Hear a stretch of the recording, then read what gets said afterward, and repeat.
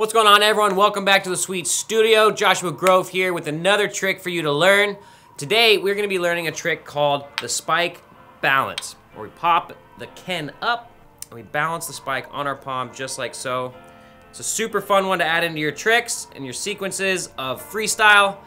So let's break it down so that you can learn this trick right now. First steps first is just practicing the act of balancing something on your hand. There's actually a technique that'll help you balance almost anything on your hand.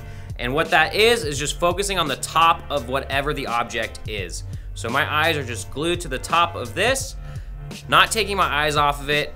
And whichever way it goes, I'm gonna follow it with my hand to counterbalance that so I can straighten it back out. You wanna keep your knees nice and relaxed and you can actually keep your core engaged so that you can move and feel grounded while you're while you're balancing the stick in your hand. So once you've practiced balancing something in your hand for a little bit and you've gotten the idea of putting your focus on the top of the object, you can explore doing that same thing with uh, the spike on your on your palm, putting the tama in the bottom cup, and you can just explore what that feels like as well. Starting in Sara grip bottom cup, first practice just the act of going down with your knees, coming straight up, and we're gonna release the Ken and then have the Tama, the goal is to have the Tama stay connected to the bottom cup and then catch the Ken once again.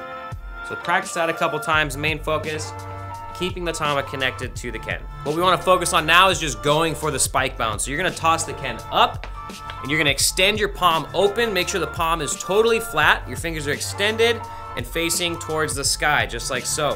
what we're aiming for is the spike to land right in the middle of our palm, so that the spike lands there, the Thomas stays connected, and then you Ken use your knees and adjust as needed. Something that's gonna make this step a little easier is focusing on catching the spike balance right at the apex of the can going up into the air. So right as it almost freezes for that split second before it begins to fall back down, try to get your hand right underneath that spike in that moment so that it has the least amount of impact coming into your hand.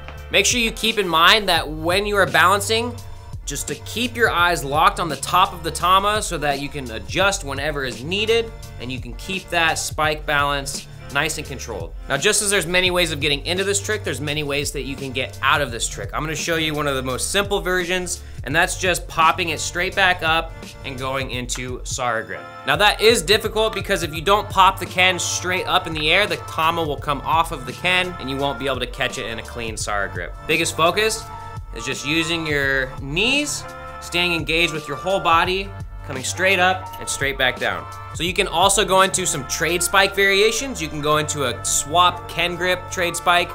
Uh, if you really like to, you can also go into a trade down spike variation. One last variation that I'll mention is that you can also toss the whole thing up and catch Tama grip and move into lighthouse. You could also move to a falling in airplane and so forth. So there's many ways that you can explore this trick. So there you have it. You got the spike balance. It's a super fun trick and always a crowd pleaser when you're doing this in freestyle events.